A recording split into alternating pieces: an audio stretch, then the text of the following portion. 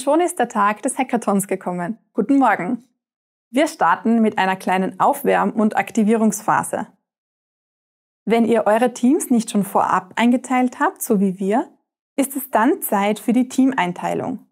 Vielleicht möchtet ihr die Fachbereiche oder Geschlechter mischen, um möglichst diverse Teams zu schaffen.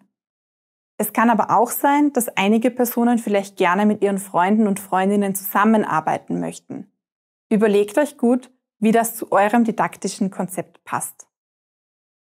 Findet euer Hackathon hybrid oder komplett online statt? Brauchen die Teams dann natürlich auch eine Möglichkeit, wie sie untereinander kommunizieren können. Stellt dafür Videokonferenz und oder Chat-Tools zur Verfügung. Weiters muss allen Teams klar sein, wen sie wie, wofür kontaktieren können. Unsere Mentoren und Mentorinnen zum Beispiel waren über Videokonferenz erreichbar.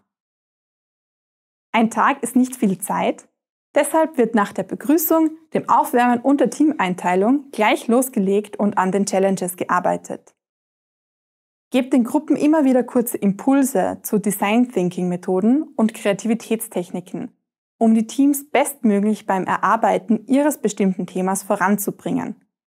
Einige Ideen verlinken wir euch auch im MOOC. Für Mini-Erfolgsmomente könnt ihr, je nach Zeitplan, Präsentationen von Zwischenergebnissen einbauen.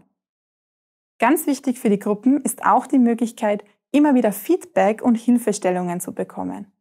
Unsere Mentoren und Mentorinnen standen dazu fachlich immer zur Seite und gingen auch aktiv auf Gruppen zu.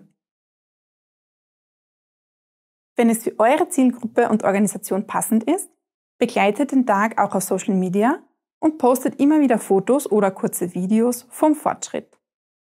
Und zwischendurch ganz wichtig, einfach mal entspannen und Pause machen, um neue Energie zu tanken. Zum Beispiel am Buffet.